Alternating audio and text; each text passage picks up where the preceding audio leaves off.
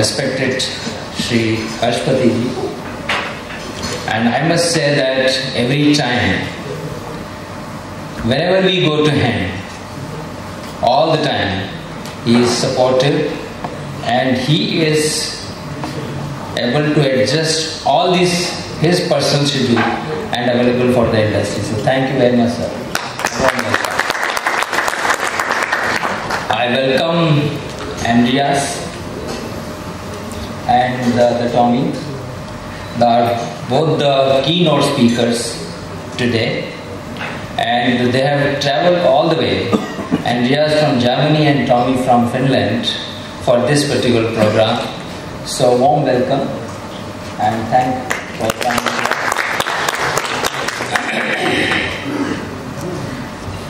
Friends, from last uh, almost uh, two years, and um, such a difficult time, we could not hold out this program and our this annual function and the award ceremony.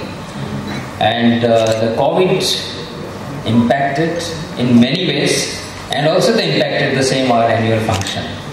And uh, I know that after suffering from uh, the COVID, this time at least we are meeting face to face and we are here for this uh, uh, annual session as well as the award ceremony.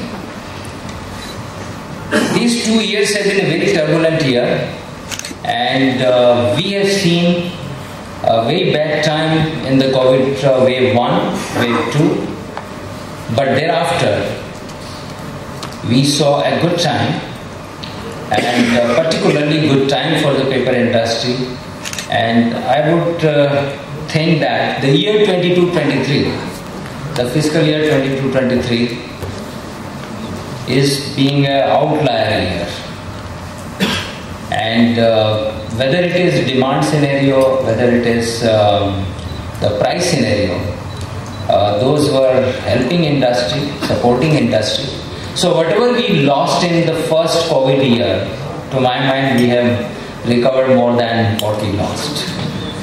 But at the same time, when the 22-23 has been this, all is likely to be a good year. But time to come is going to be a very challenging time. A very uh, volatile period and uncertain period we are going to witness because we do not know what is going to happen day after. And we need to be uh, mentally and uh, otherwise prepared for very uncertain period likely to come. Indian economy um, has demonstrated its own fundamentals and the resilience. I would say that, uh, as has been talked by many agencies, whether it is the World Bank or, uh, RBI or the Government of India or all other agencies, and uh, only few days back in the Pravasi Bharati, our Honorable Prime Minister has said, this is the bright spot and truly uh, as the Indian economy is again uh, showing a different sign whether it is the inflation whether it is uh, the growth is going to be a very attractive economy. And paper industry is not going to be exception to this. In fact the paper industry also the indian paper industry is going to be the most attractive and uh, likely to grow at a healthy, healthy rate at the same time, when we when we think that the Indian paper industry is going to be attractive, the same attraction will be there for other other people also to participate in that attractive market, and that will fuel the competition. That will fuel some kind of uh, activities. So all of us, we need to tighten our belts and we need to be far more agile and and uh, uh, competitive in different aspects so that we can take advantage of this attractiveness of the industry. Particularly the GST collection and also the only two days back, all of you must have seen the direct collection. These two are the parameters for the economic activities and the financial performance in the economy. And all these two parameters indicate that the situation has been good and also the financial performance has been good and that is why the collection is far superior than even the expected in the budget. To my mind, uh, these two trends are also helping government to, to spend more money. In fact, we see a lot of activities from the government investment and uh, these uh, investment will further fuel the demand of all the product categories in time to come. Uh, the industry has come a long way. Uh, as a paper industry, we have moved in a far more different manner, and there is a paradigm shift in whole the approach of the paper industry. But uh, in time to come, we need to do much more particularly two, three uh, areas where we need to do much more. Uh, we have tried our best on the plantation activity because the raw material security is going to be one area where we all need to be concerned. Uh, and unless we do the, the extensive plantation activities, uh, as we suffered in the year 2013-14, the likely scenario is that we may again suffer if we don't indulge in the plantation activities. The industry has been investing heavily. Some of the players have been investing heavily in the and the agriculture, I mean the plantation activities and also the clonal R&D. But we need to do much more so that we have the, the right kind of raw material at a right price and a competitive price.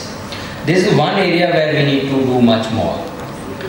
One area which is also impacting the industry is uh, what we call the waste paper, but uh, I, I think that we should change this nomenclature. In fact, uh, few months back I met somebody and um, the word he used is the recovered fiber. Why should we have in our mind as a waste paper? It's not a waste, it's the fiber which we are recovering. So let's start calling that the recovered fiber. And how do we improve the collection system, what kind of infrastructure and how do the industry participate and help so that we recover the fiber much more than what we do today. And uh, that will also be a very uh, positive thing for the industry because uh, more than 55% the fiber is the recovered fiber today and uh, we can't ignore this area. So the industry will have to play a very effective role in the fiber recovery. On the various our uh, consumption parameters and other things, the industry has done a fantastic thing, I must say, whether it is the specific power consumption, water consumption, or other uh, environmental related uh, parameters we have done fantastic thing. I must say that, and I must compliment all the our industry players for taking the steps where the water consumption is just one fourth what it used to be many years back. The energy consumption has come down by close to 30 percent. So whether it is the PTA cycle or whether it is uh, NMEEE, I mean the paper industry has demonstrated a fantastic uh, improvement in the consumption parameters and but we need to continuously do this because when we talk about uh, the attractiveness of the paper industry in India when the market is attractive it will attract many other players. And we need to question ourselves that are we truly competitive against those people? And we need to become far more competitive. In fact um, few days back when we were talking in our workshop and the topic was uh, the global mindset for paper industry and that time i was talking that the global mindset does not mean a global scale. Global mindset is for all other processes and the parameters and the way we work. That mindset we need to have. In fact all our mindset has to be not just thinking for two years. When we talk about the global mindset, means we start thinking for next 5 year 10 year and 15 year. That's the truly the mindset where we need to have the product of a right quality and we need to take the steps where we can compete with any of the global players as far as the product quality is concerned and also the cost is concerned. Basic one factor, raw material cost is one, which is coming in between for our competitiveness and that is why I said that we need to do much more plantation activity because if the raw material cost is more than $100, how can we compete with the players, those who are buying raw material at $60? So the $60 or $40 on a wood cost will become something around $150 at a paper cost and we cannot compete.